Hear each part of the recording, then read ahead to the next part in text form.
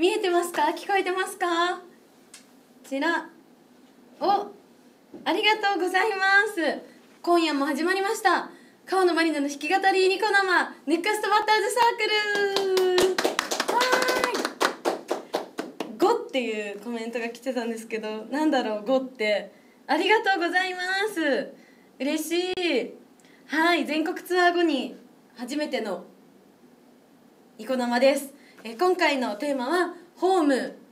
というものになっておりましてホームにした理由は、え全国ツアー4カ所回って、え親類してどんどん親類して、えホームインしたよというみんなのいるホームに帰ってきたよっていう意味でホームというテーマにしました。わーい。ということで早速全国ツアーの全マリを振り返りたいと思います。イエーイ。ボドさんが撮ってくださった写真をも準備してきました。そうホームインのホーム。イエイイエイ。あそうなんですよね。日本一を地元の福岡が獲得しまして。でも本当に d n a の力にもすごく感動しました。宮崎選手の頼もしさにも私は圧倒されました。えちょっと野球の話すぎて写真来ないのかな。はい写真こちらです。来るかな？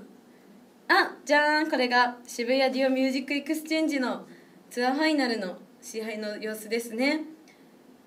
そうダイヤモンド一周すればよかった。うま例えがうまリラークも立ってますね。これは振り付けをしていただいた「キエルデイドリーム」の一幕です。はいゲストにはミアレジーナさんが来てくださいました。柱の存在感あった。そびえ立ってた。ファールなんだっけファールボールわかんない。いい写真。ああこれは「Do Do Let Me Fun」という曲をこちらも振り付けをしていただいてチームメイトみんなに踊ってもらって一緒に踊ってる様子です。はい。そしてそしておね良き写真ですね。あこれは何だろうね。モーニングアーチですかね。おあこの踊り好き。ありがとうございます。来てくれた方もいますかね。これは凄まじく逆毛の写真です。なんかトウモロコシみたいだなと思って選びました。最後の、えーと、アンコールをいただいたところではこれはもう脱げちゃってるんですけどつば九郎の帽子をかぶってジャイアンツのユニフォームを着て野球 DD のえっ、ー、となんて言うんだっけ清掃で勝負服で臨みました。胴上げしてるみたい。本当だ。逆さになったの。確かに。これ逆向きに撮った写真みたい。でこれは「エイト・オブ・ザ・ワールド」を歌っているところですね。本当ね。ヤクルトファンはイランのキロよ。でもすごい存在感のあるつば九郎の帽子かぶってたのでどっちかっていうとそっちの方が印象強かった可能性もあります。そう。スーパーマリナ人でもね東京だからね東京はそうですよね。千葉とかだとマリンの服を着れるんですけど。はい。これもなかなかの逆毛具合ですが衣装も変えつつお送りしました。つば九郎帽子はなかなかシュールな絵でした。つば九郎をかぶって思いっきり背番号007を歌った時にスイングしたらヘルメットがバーンって脱げた新井貴弘選手みたいにつば九郎の帽子がポンと飛んでいってさながら野球だなと思いました。はいミアレジーナさんが来てくださって楽しくお話ししてなんと「蝶結びアミュレット」を一緒に歌って踊らせていただきました。そうなんですよね「蝶結びアミュレット」すごく好きな曲でサビのところであのなんだろうシンコペになるっていうんですかね。ジャンってなるところ。で宮レジさんは飛んでるんですけど私はなぜだか下が空いてると思って下からこうなんかバッて下向きの振り付けをなぜか自分で実行して「えそういうのじゃないんだけど」ってめっちゃ笑われましたリスコさんに。あありがとうございます。右の柳田。最高の褒め言葉だそれは。ありがとうございます。その後タメ語で話せてる。これも「ウェイト・オブ・ザ・ワールド」の一幕ですね。心を込めて、えー、感想の部分でもニーヤの世界観を自分なりに表現をしてみました。あありがとうございます。地元に球団ない人はねマリナーズのユニフォームを作って着るのがいいと思います。ありがとうございます。すごいコラボすんごいよかった。あこれだシュールなつば九郎の帽子。存在感がありすぎてもうやばいですね。そうわけわからないかこれが野球 DD だって感じです。そうなんですね。地元の球団をじゃないとこを押してる方もいるんですね。もはやもう私よりつば九郎の方が顔認識されそう。あありがとうございます。近弁じゃないか。そうなんですよ。あ急に戻ってきた。そうなんですよ。漫談の人じゃないです。でも真剣に歌いましてそんな感じで全国ツアーが無事に関東勝利をみんなと一緒に挙げることができました。で今回全国ツアーに関してあの質問をツイッターで頂いてでんじゃん。こんな感じでもらったので答えていきたいと思います。はい。まず各会場のご飯について聞かれたんですけどえっ、ー、と大阪ではたこ焼きを食べて名古屋ではにこに味噌煮込みうどんを食べて福岡では水炊きを食べて一心不難っていうところの豚骨ラーメンを食べてあとは東京は何食べたっけな？何食べたっけな？あのね餃子食べました。なぜだか。えでもなんでご飯ってなぜ知りたいと思ってくださったのか私は知りたい。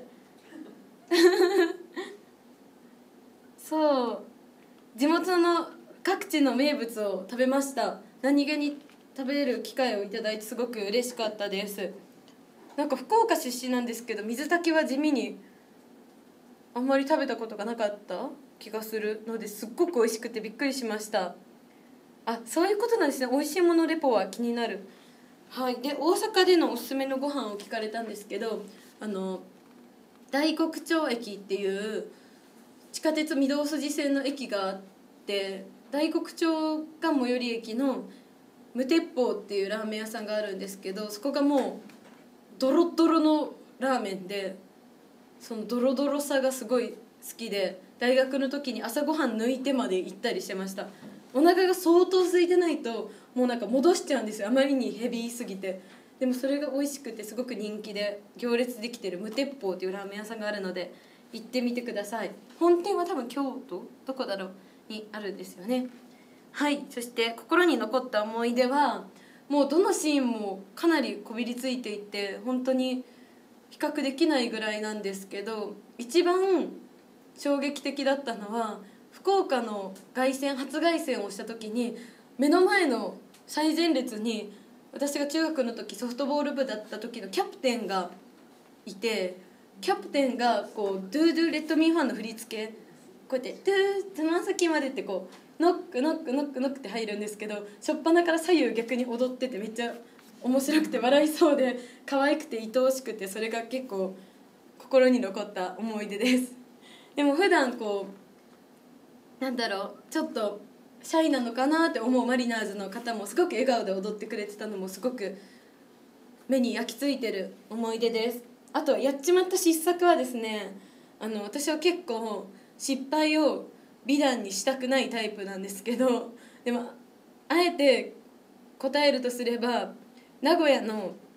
初戦の時にアンコールで名古屋だから荒木選手の中日ドラゴンズのユニフォームを着て歌うぞってわざわざこうそれに合わせて準備してたんですけど全てを楽屋に置いてきて佳代子さんにこうやって持ってきてもらうっていう最大のエラーを犯したのがやっちまった失策かなと思います。本当に全てを楽屋に置いてきました。驚きました。そうなんですよ。佳代子さんが慌てて持ってきてくれました。そう書くのもやっちまってるんですよね。なんか「朱色の朱」って書いちゃいました。そしてリラオカは何匹いるというリラックマのリラオカさんっていうキャラクターがいるんですけどリラックマが私は大好きででリラオカ自体は1人しかいないんですけどリラオカを発端にたくさんリラックマを集めて今家にはちっちゃいのも合わせたら多分100は超えてると思います。リラックマファームって呼んでます。はい。リラックマファームは今後も拡大を続けていくことが予想されています。ということで質問ありがとうございました。はい。続きましてこれまでの間に起きた出来事は「えー、よみがえるディアステージ」に出演させていただきました。はい。こちらも写真があります。そう予想よりねファーム充実してるんですよ。はいこちらは恵比寿リキッドルームで行われた「よみがえるディアステージ」の公演の時の集合写真です。私はソワレに出演させていただきましてマチネは、えー、みりんさんがミリン・ドイルさんの役を演じていらっしゃいまして私はそのなんだろうダブルキャストで川のクリスティを演じさせていただきました。すごいですよねこの衣装。男装のういちゃんがいたりはちみつはちみつ蜂のエータスさんがいらっしゃったりお化けのレタスちゃんがいたりすごいかっこよかったです。はい。オールスターゲームかよ本当そうですよ。そう赤坂クリスティが好きだから。でよみがえるディナーっていうのにも出演させていただいたんですけど店舗の方の。なぜか私はみんなディナーのライブもよみがえるディアステージの衣装で出るもんだと思ってがっつりミスケンの衣装で出たんですけどそしたらみんな意外と可愛い衣装に着替えていて可愛くて私はなんかこう水を得たオタクみたいになった写真がこれです。で追加公演の方は、えー、みりんさんが出演されないのでそのスピリッツを受け継ごうと思ってみりんさんの髪型を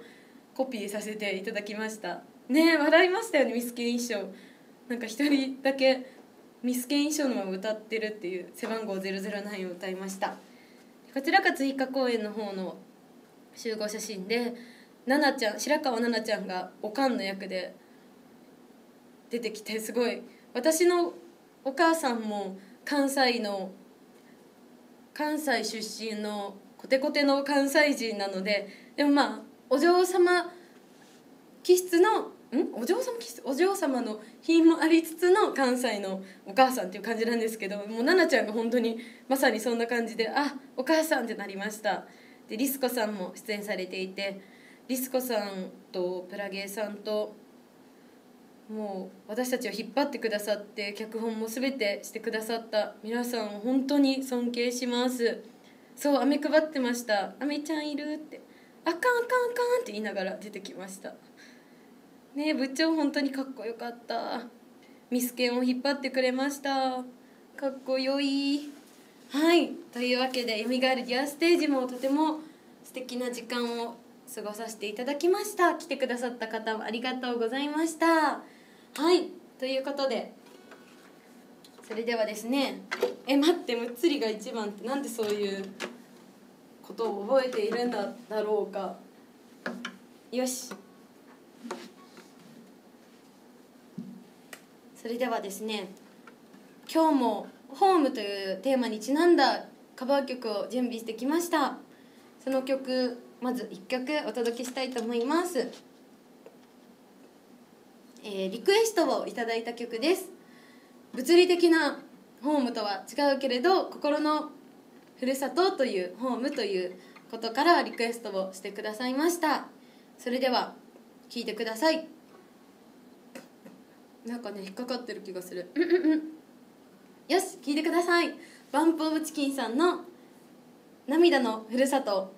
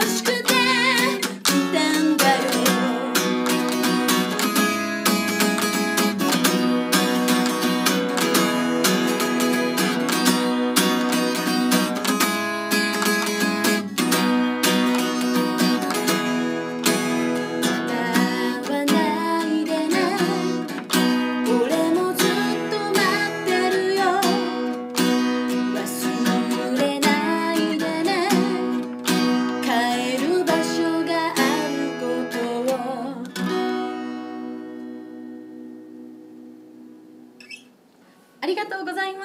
す。はい。リクエストをいただいたワンプオブチキンさんの涙のふるさとでした。おおありがとうございます。すごい。カバーアルバム待望論が今日も見られて嬉しい。わーい。弾き語りライブも確かにしたいですね。わーい。この曲はですねあの歌い慣れてるというコメントいただいたんですけど実はあの会いに来たよのとこは知ってたんですけどちゃんと聞くのは初めてでリクエストのおかげで出会えたしっかり出会えた曲です。わーい。ガラスのブルースありがとうございます。はい。というわけで今日もこの時間が訪れました。今週も行きましょう。マリナ流野球ニュース。わーい。はい。もうねあのちょっとね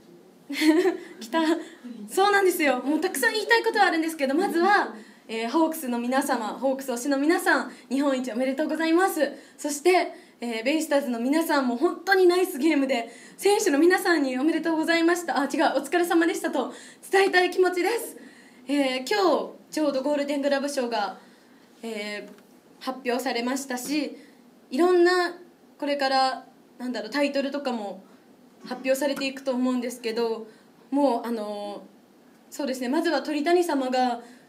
サードにコンバートされてから1年目でセ・リーグサードのゴールデングラブ賞というあの守備の名手に贈られる賞があるんですけど守備が上手い人に。それをサードにショートから変わってから初めて受賞してあの返り咲いたところにとても私はこの人に14年以上ついてきてよかったなと思いました。で同じくサードには宮崎敏郎選手という d n a ベイスターズの選手がいました。でその選手も、え、今年もかなりの大飛躍をして首位打者という一番ヒットを打つ率が高い人がもらえるタイトルを獲得したりとか大活躍だった中でそのちょっと上を行く鳥谷様が受賞したという形になったんですけどいろんなこういろんなデータも記録もあると思いますしいろんな印象もあると思いますがでもなんだろう記録では測れない部分での活躍もきっとそれぞれあったと思いますしそれぞれがそれぞれにとってのタイトルホルダーだと思うのでなんだろう鳥谷様がゴールデングラブ賞を取って嬉しいけどでも宮崎敏郎選手の悔しさもすごく感じるしという複雑な思いではありますがとにかく全ての選手の活躍が私は私に素晴らしい歌う力をくれたので感謝しています。そうもうなんかね本当に真剣に語ってしまいました。すごく嬉しくて。本当に意地の勝利でしたね。ハマスタでの d n a ベイスターズは。でなんといってもソフトバンクは守護神のサファテ選手が3イニング投げたんですよ。普通は守護神なので最後の1回を抑えてその仕事が終わるというポジションなんですけど3イニングも3回も投げてちゃんと0点に抑えて勝利を呼び込んであの男気はめちゃくちゃかっこよかった。しそうなんですよ。浜口のチェンジアップはすごかったっていうコメントいただきましたが浜口春弘選手今年 d n a に入って1年目の選手はめちゃくちゃルーキーなのにすごくてちょうど今今週分のコラムを書いてるんですけどちょっとあのここだけの話浜口選手について書こうかななんて思っているところです。まさかの買いまたぎ。しかもあの記事によるともう最後にこれだけ伝えたいっていうのがあってあのウッチいるじゃないですか。内川選手ソフトバンクホークスの。ウッチさんが最後にこうホークスがエンジンを組んだ時にもう俺は明日打てないから今日みんな打ってくれみたいなことを言ったっていう記事を読んでかっこいいなと思いました。すごく雰囲気もいいしソフトバンクホークスってやっぱりすごいなって思いましたしそういう力を引き出した d n a もめちゃくちゃすごいなと思いました。要するに私は DD が過ぎるということです。はい。すごいね。大きい声出してから喉が渇きました。はい。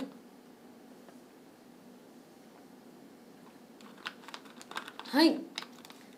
ということで野球の話からちょっとあのツイートもしたんですけど私自身もソフトボールを中学校の時にやっていて福岡の中学時代です。で背中に本当に9番を背負ってライトを守っていました。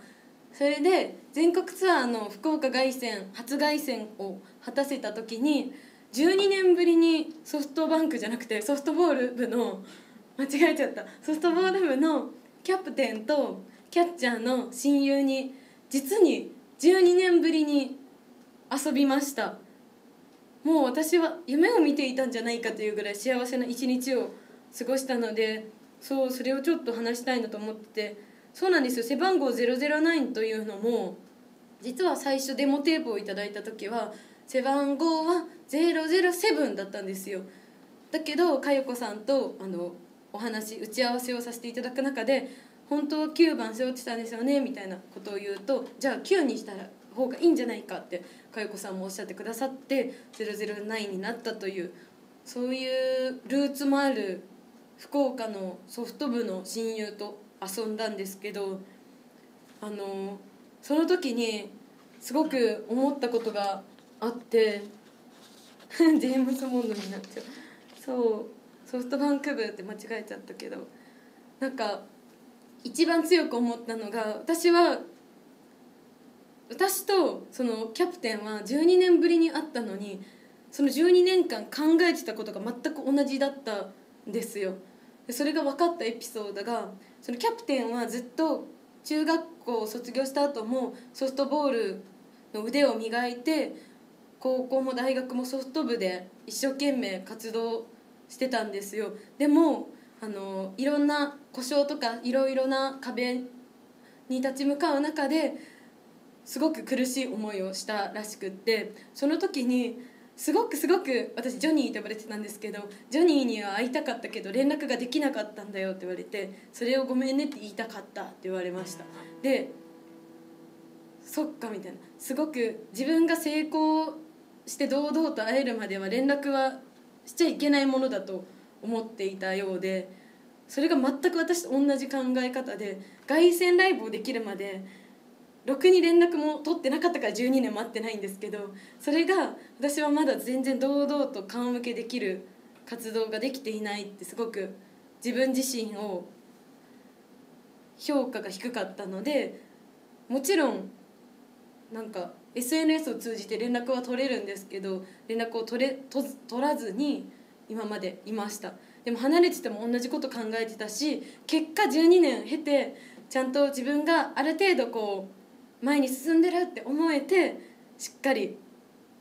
両思いのような形でもう一度会えたことがすごく嬉しくて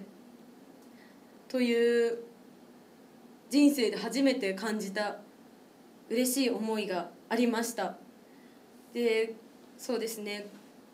もう一つあったのがそのキャプテンがお守りを持っててくれてそのお守りっていうのが私が中学校3年生の最後のソフト部の試合の時に渡した手作りのなんだ手手書きのお手紙みたいなやつで私自身も存在をあんまり覚えてないぐらいのやつをずっと試合中もスライディングしない方のポケットに入れて持ち運んでいってくれたみたいで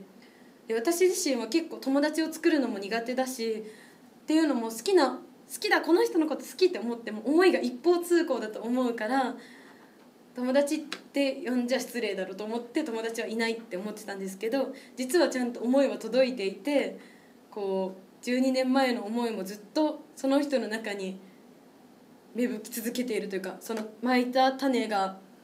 愛情の種がちゃんと残っているんだなって思って私は一人じゃないのかもしれないってちょっと自信を持ってたそんな嬉しい一日がありました。というのもチームメイトのマリナーズのみんなが福岡凱旋ライブを果たせるまで応援してついてきてくれているおかげなので福岡に連れて行ってくれて本当にありがとうとこの場を借りて言いたいなと思います。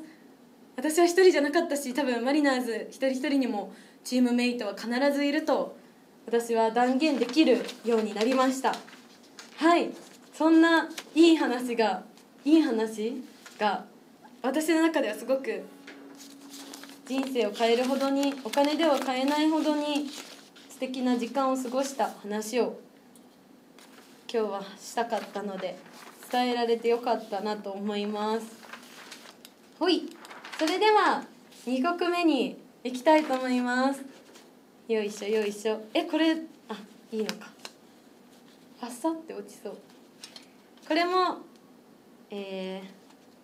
とこれもリクエストをいただいた曲です。そうなんですよね。リラオカさんのプレゼント話もあるのでまたそれもニコ生でもお話できたらいいなと思います。はい。はい。次の曲はリクエストをいただいた曲でまさに「ホームというタイトルの曲です。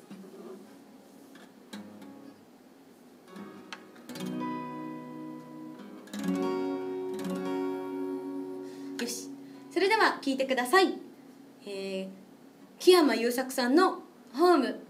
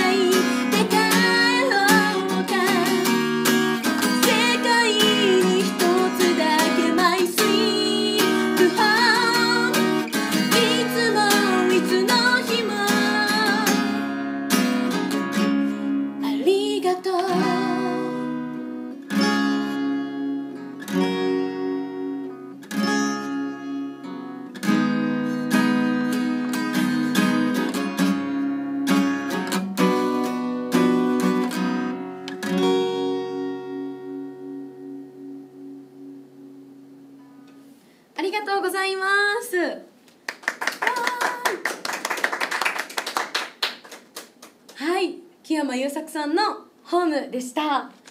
はいこちらも存在は知っていたけど有名な曲ですよね。けどしっかり聴けたのはこのリクエストをいただいたおかげです。ありがとうございます。紅白でも紅白ですかね歌っていたのかな。あの初めて出会った時テレビ越しに涙を流してしまったのを思い出しました。はい。それでは続けてこちらもリクエストをいただいた曲です。よいしょ。水分ほどどうかの懐かしい曲。はい。それではこちらもタイトルに「ホーム」という言葉がしっかりと入っている曲です。聴いてください。うん。ゆきさんの「ホームスイートホーム」歩き疲れて降り出す雨み損ねた詐を追ってあなたの目は透き通るくらい海の底で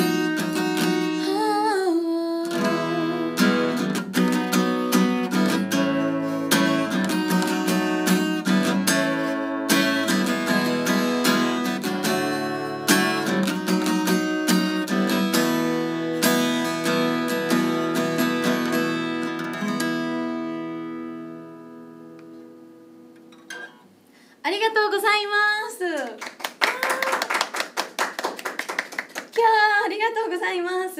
ゆきさんのホームスイートホームでした。わああのねコメントに今日の采配はいいなってコメントをくれてる方がいたんですけどこのこのねセットリスト今日ほんと全部リクエストでいただいた曲なのでマリナーズの采配がいいだけなんですよねこれ実は。驚いたことに。ありがとうございます。はい。はい。それではそうだそうだ。今日はね話したいことが結構たっぷりありまして、えー、全国ツアーの時に披露した曲とあとミュージックカードに入っている曲「ひび割れオルゴール」っていう曲があるんですけどそれについても話したいなと思います、えー、ひび割れオルゴールゲットしてくれた方もいますかね、えー、実は、えー、初めて自分で作詞作曲してみんなに披露した記念すべき第1作目の曲になります。実は制作期間が3年もかかっていてなんか恐怖なぐらい時間がかかりました。あの歌詞もまとまらなくてあこれも言いたいこれも言いたいってなって何度も書き直してたら気づけば最初に「ひび割れオルゴール私はオルゴールみたいだよ」みたいな風に思ったのが2013年の7月にブログに書いてたんですよ。私カタカナマリナだった時代に。だからそこから3年かかってあのチームメイトやスノージーの皆様やシュガービーンズさんジョニーズバンドの皆さんのおかげでみんなに披露できたっていう曲になります。でミュージックカードにも入っていて実は「ディアステージオンラインでもゲットしていただけるので本当に本当に聴いてほしいなって強く思うんですけどあのイメージはなんで「ひび割れオルゴール」にしたかっていうとあのオルゴールってすごく素敵な音色を奏でるじゃないですか。けど音量はやっぱりあのとても小さくてか細くて大好きな君が住む小さなお部屋一人暮らしなのかな一人暮らしのあなたが住むお部屋の端っこから端っこに届くか届かないかぐらいの音色しか出せないのがオルゴールでしかもこうネジを巻かないと歌うことができないしそのネジもやがて止まってしまって誰かの力を借りないと歌い続けることができないその有限さがその当時の私未熟な私にはまるで私のようだなと思って「ひび割れオルゴール」オルゴールに自分を重ねて作った曲です。でなぜひび割れかというとやっぱりそのままじゃ嫌だし自分でこうオルゴールの中からバリーンってバリーンって割ってひび割れさせて外に出てずっとずっとみんなの限りなくねじ巻きが止まってもずっとみんなのそばで歌えたらいいなと思ってそうなんですよ。実はそんな意味を込めて「ひび割れオルゴール」という曲が作れました。で全国ツアーの時には届けたいって思ったんですけど今回はあのバンドさんジョニーズさんのいらっしゃらない中で歌を心を込めて届けるというツアーだったのでオケ音源がないなどうしようってなった時にもうなんとか自分で作るしかないという結論に至りました。もうないなら作ろうという。それでとっても拙いながらにずっとあのアプリの GarageBand をこうやってポチポチポチポチ1音ずつ打ち込んで完成して届けることができました。ギターはやったことがあるからいいんですけどドラムとベースが全く分からなくてなんだろうって思いながら全部完全にあのミュージックカードの音源を耳コピしてベースはなんかトゥルルルルってなってるからトゥルルルルルかなみたいな感じでポチポチと打ち込んでやりました。そうなんですよね。ディアステの精神だというコメントをいただいたんですけどあのディアステージに移籍させていただいてからディアガチャを見てるとないなら作ろうっていうその精神があまりにもかっこよくて私もその気持ちで頑張ろうって思えたのでディアガちゃんのおかげでもあります。そしてあの拙い拙いオケ音源だったと思うんですけど OK をくださった首脳陣かっこスタッフの皆様と渋谷デュオの PA の方は本当に力を尽くしてくださって本当にありがとうございましたとこの場を通して伝えたいなと思います。はい、えー、そんなひび割れオルゴールもありつつ、ええー、ゼンマリソングというものがありましてちょうどですねここにねその当時のやつがある当時のニコ生でこういうのやります発表した時のなんだろうスケッチブックがちょうどあって懐かしいなって思ったんですけどみんなに歌詞を募集してみんなが書いてくれた歌詞を私が作ったメロディーに乗せて全国ツアーのために曲を作ろうっていう企画を発動しましてそれもあの GarageBand でドラムを打ち込んでそれに合わせて渋谷のファイナルでは披露しました。そうえありがとうございます。ちょっとコメント読んだら泣いちゃうかもしれない。はい。そうツアーで育った曲なんですよ。もともと全然作曲とかできないし多分ゼンマリソングも4年ぐらい制作にかかるんじゃないかと私は本当は思ってたんですけど みんなのおかげでみんなに届けたいというモチベーションのおかげでなんとか半年ぐらい半年以内には作ることができました。4年絶対かかると思ったな私は。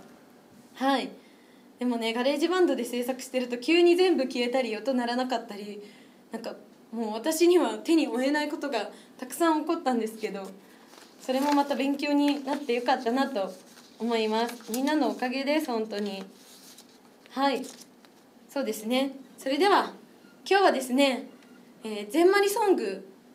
タイトルを実はつけました。その名も「We are Mariners」というタイトルです。はい。We are Mariners をツアーだけのものにするのはちょっともったいないなと思ってみんなが育ててくれた曲なので。なので願わくはこの NBC のテーマソングに今後できたらいいななんてプチ思い中です。なので今日はそれを披露したいと思います。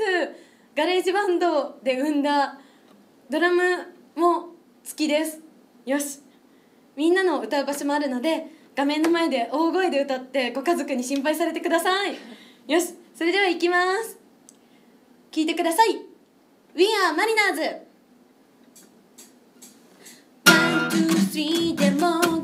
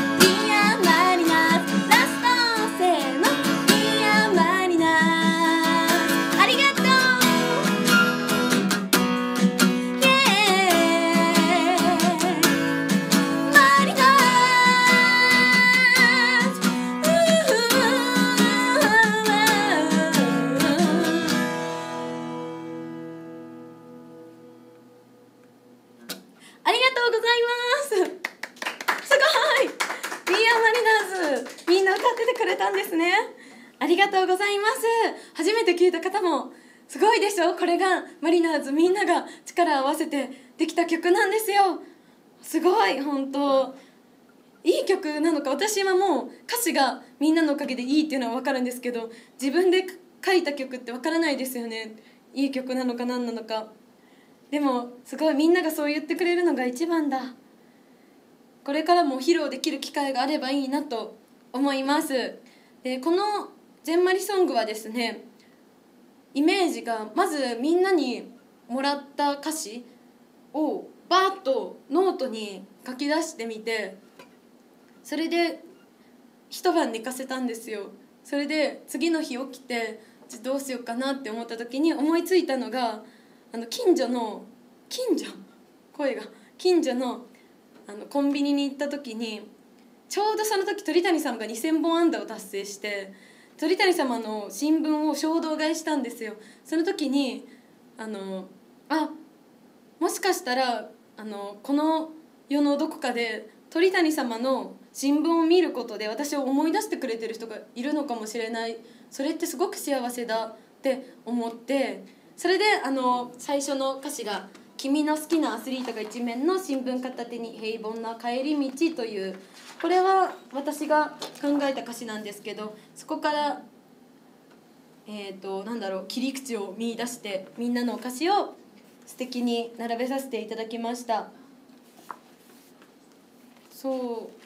ですね。なのでテーマはあの大好きなチームメイトにかける言葉っていうテーマで作りました。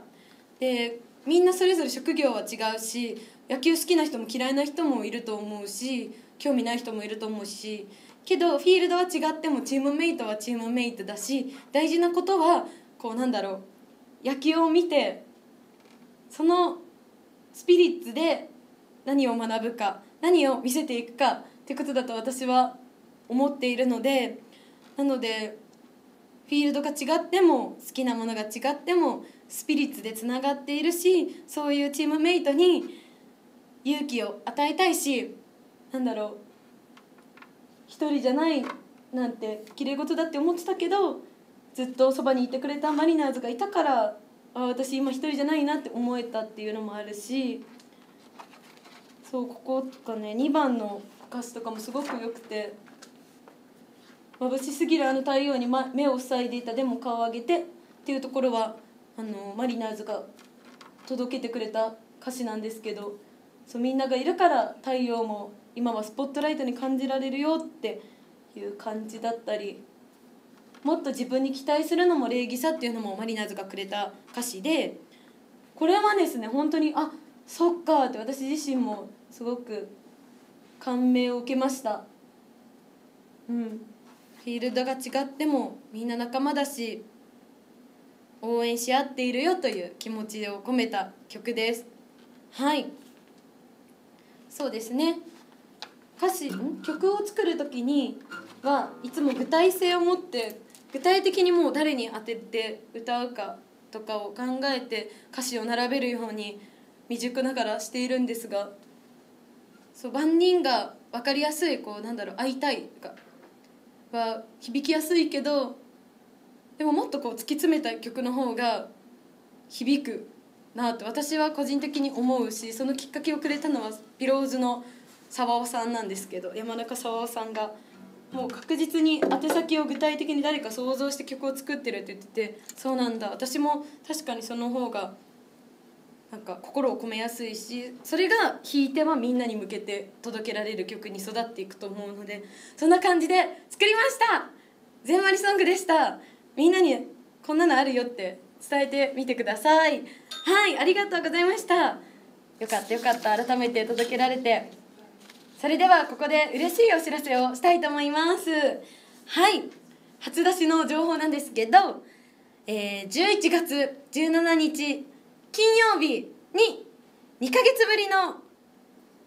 秋葉原ディアステージの店舗イベント川野監督の采配8回表開催決定しました。嬉しい。じゃーん。はい。嬉しい。そう地方の方はですねあの難しいかもしれないんですけどたくさんたくさん顔写真とかあげるので楽しみにしててください。顔写真自撮りだよね。自撮りって言うべきだった。今回のテーマもなんと花嫁修行ということでなんかエプロンとかつけちゃおうかな。お玉とか持とうかな。スリッパとか履いちゃおうかな。はいそんな感じでえメニューも美味しそうなものをあのキッチンさんが作ってくださる。私がリクエストしたものを作ってくださるので楽しみにしててください。えサザエさん？心配。